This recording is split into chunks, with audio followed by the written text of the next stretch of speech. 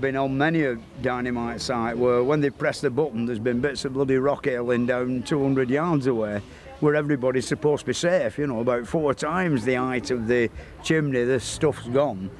With the old pit prop and sticks job, uh, the worst you can get is a bit of a fallout like we had today. You know, a few odd red hot bits of cinders or something coming down, which is no no worse than what used to come out of a locomotive going up a big hill in olden days.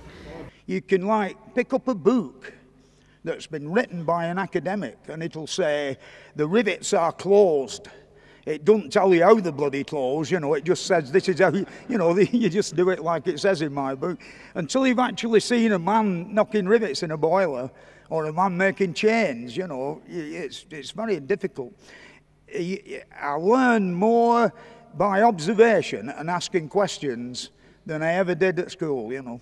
Well, that used to be St Joseph Boys mm. at school before the war. Mm. That's where I was put. Because mm. after my father died, my mother died mm. shortly after. Mm. And nobody to look after me. I was put in that home at Manchester there. Mm. Brothers used to look after you. Oh, the swine used to get hold of you like that as well.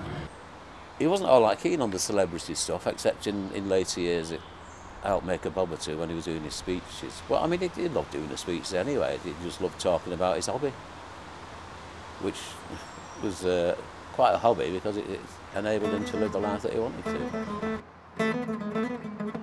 Have you seen him? Have you heard him? Jogging down the road, riding on his old steamroller. He's the famous steeplejack and the old smokestacks make his face go black. He's a fella from Bolton. There's our steamroller, which was built in 1910.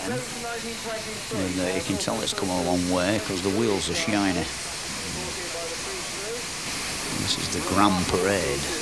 Indeed, I'm quite pleased because where the where the flue hole were, where the smoke went in, you see, it were like sort of two foot of brickwork missing, which we could have done with. Yeah. And, and of course, we propped that up with a big bark of timber. And did you see how it twisted round when it when it went? You know. Oh it, yeah, so well, it, it, it, actually yeah. rolled round on that piece of wood, you know, stood on a on a big pin, yeah. as you might say.